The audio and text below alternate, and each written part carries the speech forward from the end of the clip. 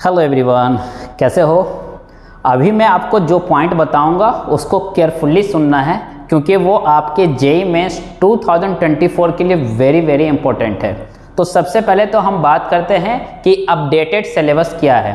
तो ध्यान से देखो बेटा अपडेटेड सिलेबस में केमिस्ट्री में अगर मैं बात करूँ तो फ़िज़िकल केमिस्ट्री से ये तीन चैप्टर आपका रिमूव हो गया। स्टेट्स ऑफ़ मैटर आपका रिमूव हो गया पूरा। डेट इज़ गैसेस स्टेट के नाम से भी लोग उसको जानते हैं, जिसमें आप ideal gas equation P V equal to n के बारे में बात करते थे, वो वाला चैप्टर पूरा का पूरा रिमूव हो गया right similarly solid state twelfth का जो चैप्टर था, वो भी पूरा का पूरा रिमूव हो गया है। तीसरा सरफेस केमिस्ट्री ये भी आपका रिमूव हो गया है। तो फ़िज़िकल केमिस्ट्री से ये तीन चैप्टर कंप्लीटली रिमूव हो गए हैं। उसके बाद कुछ कुछ सब टॉपिक्स हटाए गए हैं। जैसे मोल कंसेप्ट में सिग्निफिकेंट फिगर है प्रिसीजन है एक्यूरेसी वाले थे तो वो सब हटा दिए गए हैं। सिमिलरली एटॉमिक स्ट्रक्चर में थॉमसन एंड रदरफोर्ड मॉडल के जो बेसिक पॉइंट सब थे, वो सब हटा दिए गए हैं।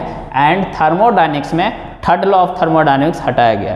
तो ये पॉइंट ध्यान देना, ये चैप्टर सब या ये सब टॉपिक्स रिमूव हुए फ़िज़िकल केमिस्ट्री में। सिमिलरली अगर मैं इनऑर्गेनिक में बात करूँ तो इनऑर्गेनिक में मेटलर्जी चैप्टर आपका रिमूव हो गया है राइट हाइड्रोजन चैप्टर पूरा कंप्लीटली हटा दिया एस ब्लॉक पूरा कंप्लीटली हटा दिया। पी ब्लॉक में पूरा आपको नहीं पढ़ना है। पी ब्लॉक में सिंपल जनरल इंट्रोडक्शन वाला पार्ट पढ़ना है, जिसमें इलेक्ट्रॉनिक कॉन्फ़िगरेशन से रिलेटेड है, या जो सम ट्रेंड है, जो कि ऑलरेडी पीरियोडिक टेबल में हम लोग कवर कर लेते हैं राइट तो वो वाला पार्ट रहने दिया गया है। या फिर जो हर ग्रुप का para element anomalous behaviour show करता है तो वो है, बाकी जितने भी उसके कंपाउंड या उसके प्रिपरेशन वो सब आपका हटा दिया गया तो इस पॉइंट को ध्यान देना है। तो इनऑर्गेनिक केमिस्ट्री में ये चैप्टर रिमूव है। वैसे ही ऑर्गेनिक केमिस्ट्री में इन्वायरमेंटल केमिस्ट्री आपका हटा दिया गया पॉलीमर हटा दिया गया केमिस्ट्री इन एवरीडे लाइफ इसको भी हटा दिया गया। तो समझ के बाद तो फाइनली अब आपकी केमिस्ट्री में चैप्टर कितने बचे? फ़िज़िकल में टोटल एट बच गए। कौन कौन मोल कंसेप्ट आपका बच गया राइट वो आपको पढ़ना है। एटॉमिक स्ट्रक्चर आपका बच गया राइट उसके बाद आपका अगर ट्वेल्थ में आ जाए तो solution chemical kinetics electrochemistry redox ये छः चैप्टर हो गए राइट और थर्मोडाइनमिक्स आपका रह गया, वो आपको पढ़ना ही है। तो ये टोटल एट चैप्टर हैं जो फ़िज़िकल में बचे हुए हैं आपके।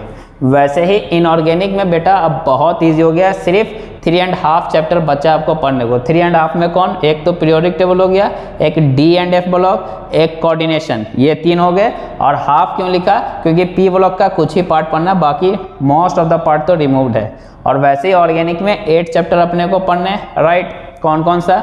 वही जीओसी पूरा राइट उसके बाद आपका हाइड्रोकार्बन वाला, फिर इधर ट्वेल्थ के अल्काइल हेलाइड एराइल हेलाइड वाले alcohol phenol ether aldehyde ketone और carboxylic acid amines chapter and biomolecule ये वाले सब आपको पढ़ने हैं। तो ये तो आपको आइडिया क्लियर हो गया। नाउ ये वीडियो लेक्चर बनाने का जो मेन रीज़न है बेटा, कि अब आप ध्यान से देखो, अगर केमिस्ट्री इतना इजी हो गया है तो उसमें 75 प्लस मार्क्स लाना बहुत इजी है आपके लिए। क्यों? क्योंकि ये जो ज्ञान आपको दे रहा है, वो एक केमिस्ट्री का एक्सपर्ट दे रहा है। वो सर खुद जेई मेंस को क्लियर किए हुए हैं राइट तो आप उनसे ज्ञान ले। बाकी लोगों से ज्ञान लेने का कोई मतलब नहीं बनता है। तो ध्यान से समझो, अगर आप चाहते हो केमिस्ट्री में 75 प्लस तो आपको कुछ नहीं करना है डेली दो वीडियो लेक्चर देखना है। क्योंकि मेरा जितना भी वीडियो लेक्चर है ऑन एन एवरेज 20 मिनट में वो कंप्लीट होगा। क्योंकि जस्ट मैंने to the point to the concept बात की है, फालतू की बातें नहीं की हैं। तो टू वीडियो लेक्चर आपको डेली का देखना है। उसके अच्छे से नोट्स बना लेना है अप्लीकेशन प्रॉब्लम को वीडियो को पॉज कर करके खुद से सॉल्व करना है फिर उसके बाद देख करके करना है and P Y Q problem करना। अगर आप इतना करते हो तो सिंपल आपको 75 प्लस लाने से कोई नहीं रोक सकता।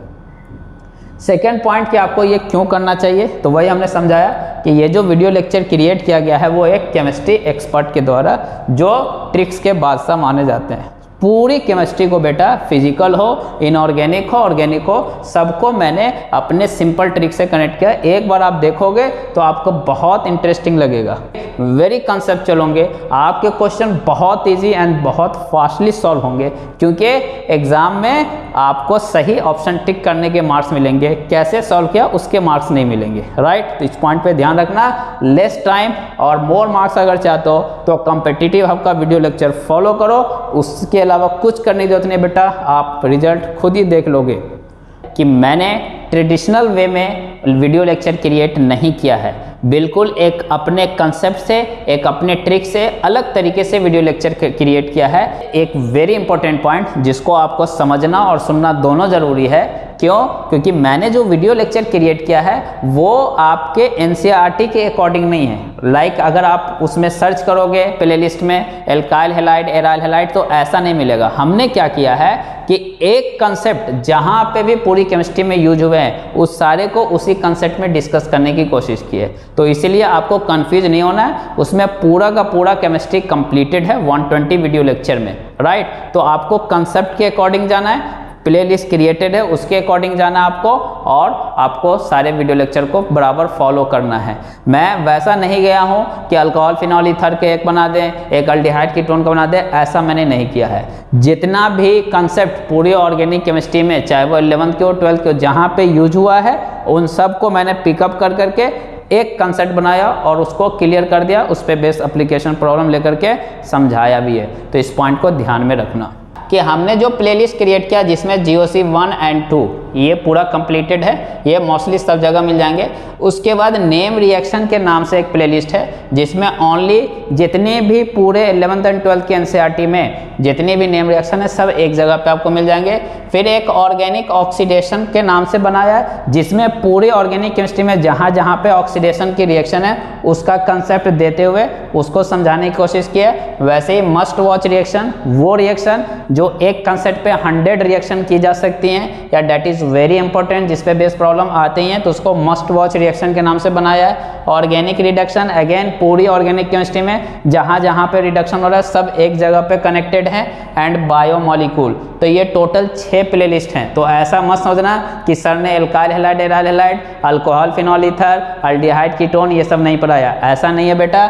सब इसमें कनेक्ट किया यही मैं कहना चाह रहा हूँ कि ये एक एक्सपर्ट के द्वारा बनाया गया इसलिए आपको समझना, हमारा कंसेप्ट बस इतना ही है। क्वेश्चन हमें करने से मतलब है। वो क्वेश्चन किस चैप्टर से आया, उससे कोई मतलब नहीं होना चाहिए राइट और ये सारा आपको एक मेन प्लेलिस्ट ऑर्गेनिक में मिल जाएगा। ऑर्गेनिक के अंदर ये सब हैं और ये नेम प्लेलिस्ट के बने हुए हैं। तो ये ध्यान रखना, इसलिए ऐसा नहीं कि मैंने किसी चैप्टर को छोड़ा है। सारे चैप्टर सारे केमिस्ट्रीज में कंप्लीट है। Just you have to watch and enjoy it thank you